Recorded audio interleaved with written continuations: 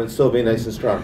So, so, but when did you go aggressively in the internet? Um, what what year was it, or was it like slowly trying out, figuring out, and just Yeah. put some stuff out and look what happens? I or- think it was um, no. There was an aggressive move in about 2007, 2008 uh, to go to, to embrace the web and all its possibilities and to invest in the web. Everybody understood that digital was going to be uh, where the action was, but the Atlantic began making investments in the web relative to our print investments that were important. Um, I came to the Atlantic in December 2008, and we had been investing in digital and in hiring writers for the web for about a year prior to that.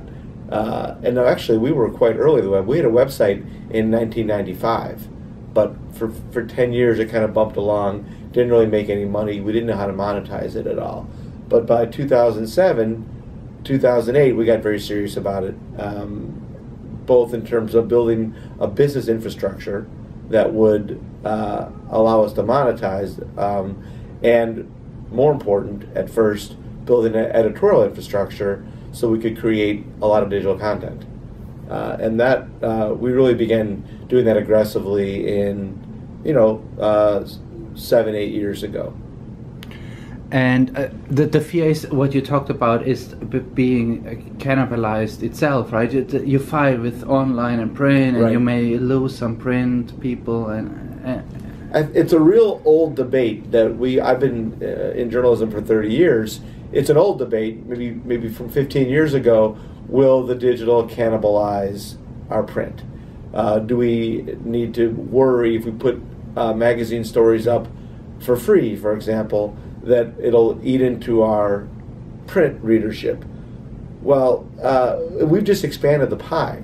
We continue to have a, a half a million print magazine subscribers, and then you know that means that two, three million people read the magazine based on the so-called pass-along rate.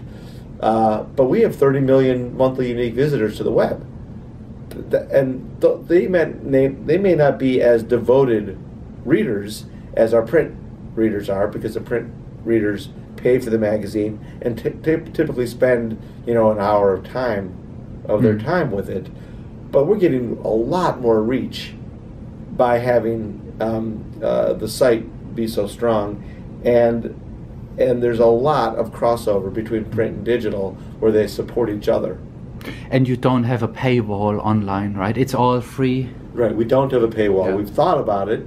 We've considered it. We've modeled it. And right now, all of our digital content is free, unless you want to consume it in the app. And then the uh, the app, um, uh, you have to pay for the app, and of course, we charge um, for the print magazine. Mhm. Uh, and there's some uh, channel confusion there. I can read all everything. I, I- I'm a magazine subscriber, but I can get all the content for free on the web. We're betting that for some number of people, they like the bundle of the magazine. They like the physical experience. They like the paper, and we can continue to charge modestly. We don't charge that much for the magazine, um, and that'll still be an important business for us. Yeah, also people travel in trains, in Sure. airplanes, and uh, sitting on the beach or so, right? It turns out that paper is the ultimate uh, portable reader. Yeah. and and um, the thing is, um, so, so wh- where do you get uh, the, the online readers? You have a lot of Facebook fans, 1.5 million, Twitter, 1.25 million. So that's quite a lot. So do they come through social mainly, or is it what is the mix like? Yeah, social is a, is uh, the biggest single driver of uh, traffic uh, to the site. Uh, uh, you know, we take care. Um, we, we, we pay attention to the homepage. Um, some small but important percentage of readers come in directly to the front door, but increasingly, and this has been true for four or five years, uh, they're coming in through side doors, whether that's through search, whether that's through other sites like Yahoo or MSN or you know you know yourmomsblog.com you know it could be anywhere and especially through social. And we are now getting um, about half of our audience is coming in through social and most of that is through facebook And you give your content to Yahoo, for example. It's a partnership, right? You put it there, at Yahoo on a website. Right. So people We- click through then on your side or Oh, I'm sorry. We put it where? Yahoo, Oh, Yahoo. Yes. for example. Yes. So we have a partnership with Yahoo, and um, we give them our content, and then they uh, ideally uh, people will read a piece there and then click through Okay. to read more Atlantic content once they've read the one the first piece. And you are very successful with native ads. That's also a new thing, and you were early on it, very early, right? We were early to, to native advertising, sponsor content, whatever it might be. Really, um, branded content and and and, and uh, branded marketing. Uh, we were early. We've been doing that for maybe uh, five years, uh, and it is now a really important part of our business. It's a big contributor uh, of our revenue. Um, about two thirds of the digital ad dollars that we get come from companies that are spent that are making native as part of their overall buy with us. So they might also have boxes and banners, but native is an anchor to what they're buying with us. And uh, we built out a, uh, a 25 person division of our marketing department called Atlantic Rethink, and we have writers and editors and designers and developers who work as part of Rethink, uh, creating the content, and also we have um, uh, kind of a, brainstorming team that works with the clients to, to help uh, devise the concepts that we then turn into stories. What is the trick? It has not to be. It shouldn't be boring. Sometimes advertisement is boring, right? Right. And that's that's that's the niche, right? You if you make it interesting, you get readers. I think there's two things. One is to, to try to tell stories the same way we do with our our own um, editorial content. So to be interesting, to tell stories, to be compelling, uh, and to bring a kind of a journalistic um, values uh, to the enterprise. And the other is to uh, write in a way that um, Atlantic readers expect um, uh, the content to be presented. So not to confuse our readers between advertising and editorial, because we market very clearly as, as sponsor content, but uh, we are able to tell our clients that we know how to talk to Atlantic readers. We know, based on our own editorial success and failures, we know what works and what doesn't work, and we'll bring those those lessons to the sponsor content that we create for you. And the journalism itself, how how do you create? What what is the core of journalism you do? Like it should be interesting. Right. It should it should have some interpretation, right? It, it's not just the facts, Yeah. facts, facts. Like Right. We no matter what the platform, whether it's on print or whether it's digital or whether it's live events, what we're trying to do at the Atlantic is provide the clearest thinking on the most consequential issues in our time. So uh, that can mean uh, bringing reporting and research, but also bringing judgment and commentary to the equation. Um, we're not an opinion site, but we're also not um, a, uh, a a kind of who, what, where, when, why, uh, fact-based um, e- enterprise either. Uh, so um, we trust our writers to be fair-minded, uh, to approach a, a topic without an ideological perspective, and then uh, based on um, the reporting they do and the reading they do and the thinking they do, to uh, to present um, an article that will include their judgments in it. How many reporters do we have in total? For uh, full time, roughly. Uh, on the digital team, we have about um, uh, 70. Um, uh, that includes writers and editors.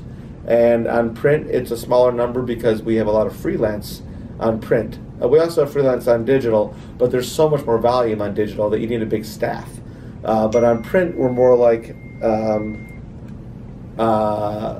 maybe 20 five people on the print team. And how many roughly freelance that contribute to? It, it, in every issue, um, uh, probably more than half the stories in the magazine are, are uh, by freelancers. So another like twenty or so freelancers. Well, but there, in the course of a year, oh, there might switch, be uh, okay. fifty, fifty, okay, or 50. something like that, maybe even more, because they're not the same ones every issue. But but you create a lot of content. So with seventy writers, like online, they they work hard, right? So 70 writers and editors, so, so they're, not, they're not all writing. But uh, and we've experimented. Uh, uh, before I took this job, I was the editor of our digital site of our digital properties um, for five years till I moved over to this role. and we experimented during that time. Uh, what what works best in terms of satisfying the audience and generating a lot of um, uh, audience traffic? Is it asking your writers to write three stories a day and really crank it out, or is it to write one story a day and spend more time, or is it to write one story every other day? Mhm. Um, and uh, every writer has kind of a different set of expectations.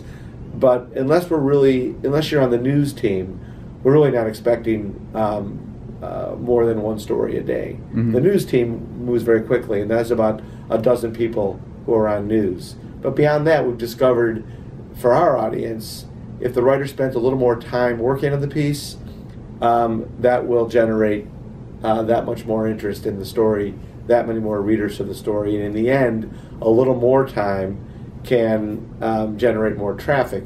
Now, not like not print time, not you know we spend um, weeks and even months on print stories. Okay. And I was a print journalist for for 20 years before I switched over to digital. So uh, our digital team understands there's a velocity um, for the web that's just different from print. What's the perfect length of an article on the web? Is there like some secret, like in the length? Is there some range that is recommended, or Yeah, what we've discovered is um, really short is probably not right Mhm. um, for our audience, which likes to go a little a, a little deeper. Um, for example, uh, we've we just had a twenty thousand word cover story in the magazine about President Obama's foreign policy called the Obama Doctrine, which was the cover of our uh, April issue, and it w- did gangbusters on the web. These are people reading on their phones, twenty thousand words. Um, a lot of our longer print stories do very well online. So the idea that people will only read short stories is not an experience that, that we are seeing. Uh, uh, most of our digital stories are maybe in the um, 600 to 1200 word range. Not not really short, not long, but we're having five and 10 and 15,000 word stories, mostly written for print, that can do very well online. and you also had an interview with the president, right? as part of that story, the Mhm. Obama Doctrine story included uh, not so much an interview, but a series of conversations over the course of a few months Mhm. that uh, we weave together into a longer story. Uh, so it wasn't presented as a Q&A, but the writer did, did sp- have five separate conversations with the president. That's great. Well, Yeah. is that easy to to get with the president? No. No. That's uh, really a, I think, a recognition that this particular writer, Jeffrey Goldberg, has earned um, a lot of uh, respect as one of the preeminent um, thinkers, uh, journalistic thinkers about foreign policy, and the president over time has come to think that what write, writes is smart. So, and then when you have the first conversation, they give you a half hour with the president, and it turns into an hour, and then he says at the end, "We got to finish, talk more later."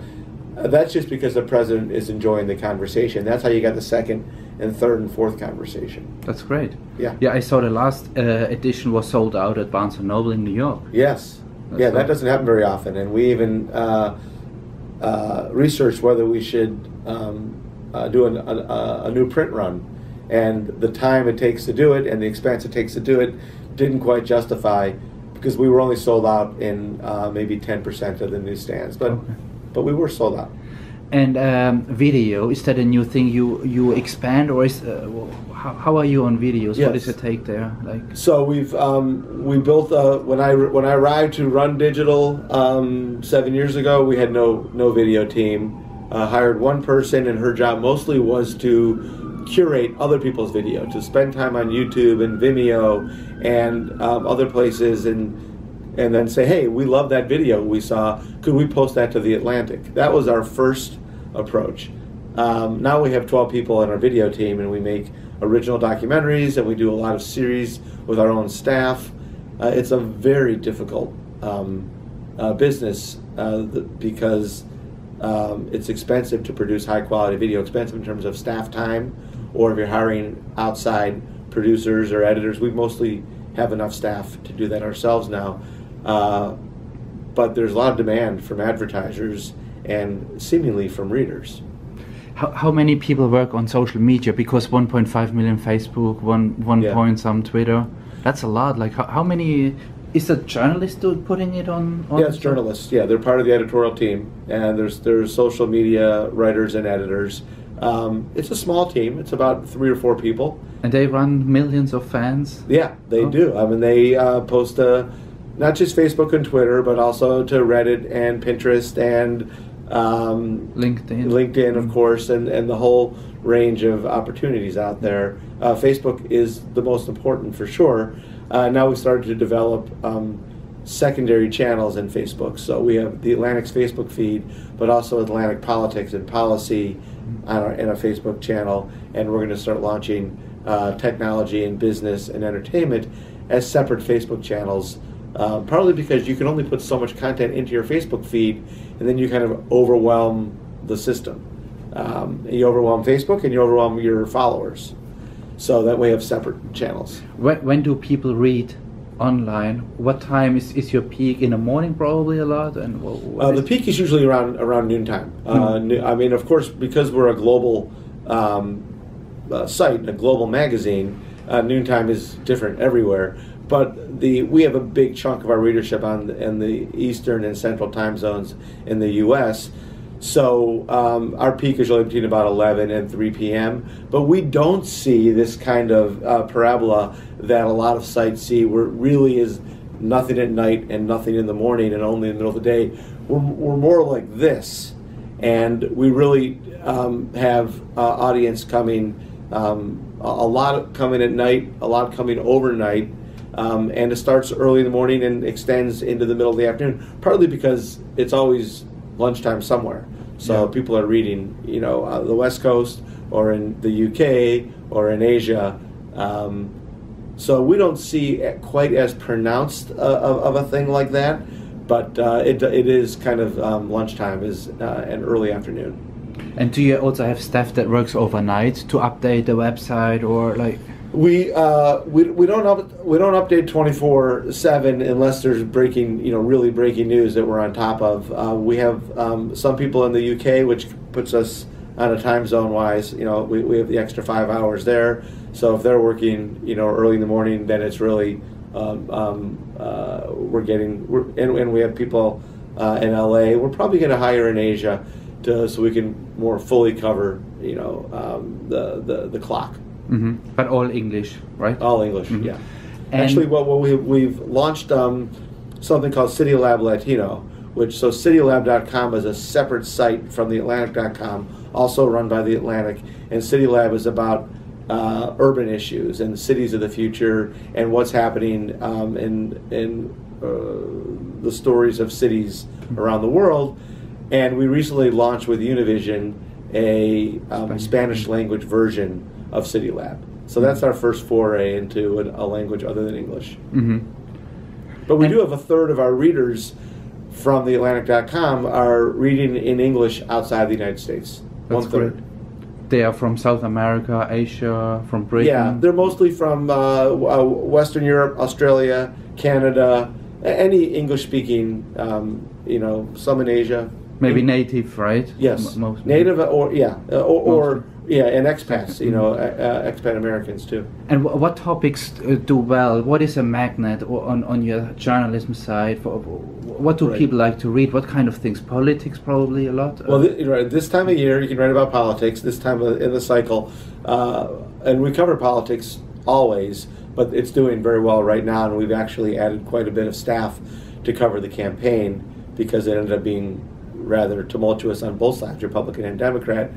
So uh, right now, politics is doing very well. In an off-cycle election year, uh, we find that we do very well with uh, business, technology, health, uh, and entertainment, uh, as well as politics and also uh, foreign affairs.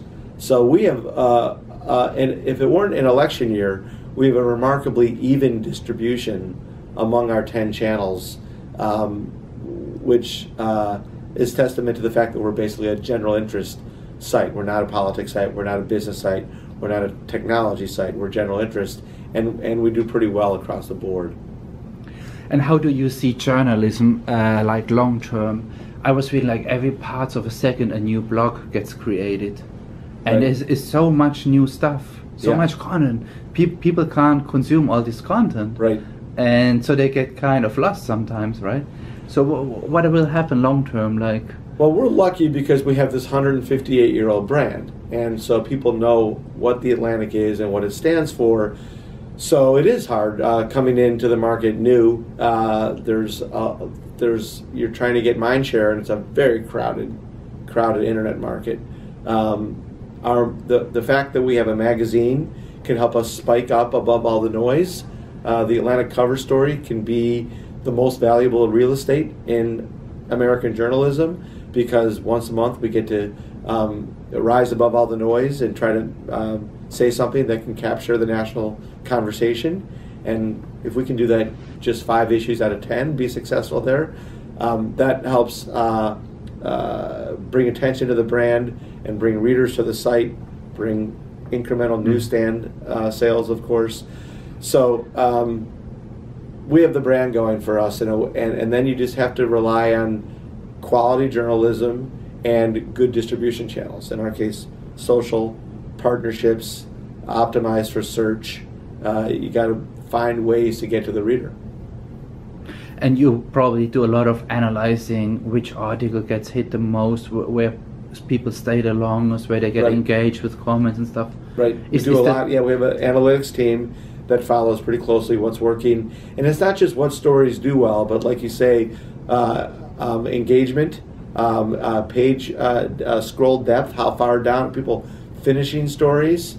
Um, we're very interested in making sure that uh, a visitor who comes to the site doesn't just read one story and leave, but we have so-called depth, which is you come in and read two stories or three stories or four stories, and how can we create a site that uh, makes you want to stay? Uh, so we, uh, you know, the scary thing about having all this data is you have all this data, and you have to figure out how to use it. Uh, I was talking once um, to a longtime print journalist who said, "Oh, I don't really." Um, I don't really like the web because uh, you're constantly trying to make sure people read your stories. I like print, um, where you know people are reading your stories. And I said, well, my experience is you don't know they're reading your stories in print either. It just you didn't know better, and so you were lulled into a false sense of complacency. Well, my story's out there; it's done. People love it. Well, they might not love it, and what what digital gives you is exactly how much they do or don't love it, which is data that historically journalists have not had. And you said you're profitable, right, since 2010? Right. And you're still today. Yeah, been profitable every year and uh, more and more profitable. Last year was our most profitable year in in the history of the magazine. Congratulations. Is it public, the number? Is it public or? No, it's not public Okay. because we're a private company. Okay. Uh, you know, but it's it's uh, it's uh, it's in the eight digits. Let's put it that way. Eight so, digits? Eight digits. So um, it's not it's not five hundred thousand. You know, eight digits would be ten million or above uh, in in terms of profit. So small, right? That's eight. Six, seven, eight. Yeah, that's eight. So eight eight million or? No, no. Eight digits means that I'm saying we're, we're we're we're profitable. I can't give the number, but it's at least ten million or, or more. 10 million or more in Yeah, profits? yeah. That's a lot. Yeah. So is your budget then growing? You can hire more staff or or you want to keep it that way and, and keep it profitable, highly profitable with the high margins? No, we're, Well- we're definitely growing, and we, the way we've improved our profit from nothing to that number, and in our video staff, and in our various other uh, the events divisions. So the only way we know to increase profit is to keep on growing. So we're we're adding all the time. But 10 million, that means, if you like, let's say 10 million, just assume that number. So you, are better than Washington Post, New York Times, like those Oh, no. flagship. Oh, they they they they have more profit than that. Yeah? I'm sure. I don't actually know, but Okay. but I'm certain. You know, I don't know their numbers, Yeah, but okay. um, you know, this, those are those are companies with hundreds and hundreds of millions of dollars in revenue. Yeah. So I don't know but, they're- but, but they have a problem on the profit. They have a problem on the profit side. Yeah. Yeah, well, you, those are public companies, so that you can find those. Yeah, numbers. yeah, I don't know. okay. I don't know. Yeah, That. that that's a great. Um, that's amazing. So your total staff, staff, is it uh what is it? Total employees. Total at the Atlantic is right now about about 260. Yeah. uh, so a small company, um, and that's um, divided in our four areas, which is um, print, digital, live events, and consulting, and then of course um, there's a digi- there's, there's a business operation to those and an editorial operation uh, to those. And total journalists of the 260, is it half? Roughly? About half. Half. Yeah, about half those are journalists. And what is consulting and live events? Live e- is it conferences? Yeah, or- exactly. Mhm. Conference, but but we do more than hundred conferences a year. Wh- what fif- topics? What, we what- have 50 people Mhm. working in our Oh. events business, and it contributes uh, 20% of our revenue. This is a real important part of the business. Uh, every topic you can imagine, just like the magazine covers everything um, uh, uh, technology, uh, politics, business, uh, health, um, uh, across the board, and everything from uh, uh, three. I'm sorry. Okay, I. Okay, thank you. Um, everything from uh, two and three day um, uh, events to half day programs. the last thing, consulting. What, what Yes. is that? So, um, on the strength, so after the Atlantic made this transition from print to digital and made a pretty strong transition, we got a lot of questions. Well, how did you do that? What can what what, what can we learn? Um, what's the secret sauce? So we started um, to uh, a little consultancy to help other businesses, not necessarily journalism operations, but uh, companies, nonprofits, foundations, universities, make a transition uh, to a digital footing and set up digital editorial um, newsrooms. A lot of these places create content as part of their business. If you're a bank, you might have a web page with a lot of content on it. So we help make that transition um, and and offer that these basically um, digital consulting services help you with a social media strategy, a branding strategy, an editorial workflow, everything that the Atlantic learned uh, about uh, digital transformations. We bring that um, to other companies, and that's the fastest growing part of our business right now. Although still a relatively small part, about 10% of our revenue. And staff? How, how, how many? Uh, 30 people, 25, 30? 25 to 30 people, Is it then local or the whole state? the, uh, uh, uh, across the United States. It's Yeah, great. Yeah, Mhm. across the United States. So you have a, a nice portfolio that is all around. Like Yes. it's not just like one. Well, the nice thing there is it's not advertising dollars because we rely so much on, on, on basically um, uh, consumers to buy the magazine and then advertising dollars. And the consulting business is a little bit uh, different, so it diversifies the, the revenue. And then you are looking now for a new chief editor. That Yeah. your, your boss uh, or no the uh, the colleague editor in chief he, he left uh, to New York to the. He's New- going to the New York Times in Mhm. two weeks, yes. Uh, Ha- have you found somebody or you're not yet. around? Are you available? we're, we're looking. Uh, we haven't found anybody.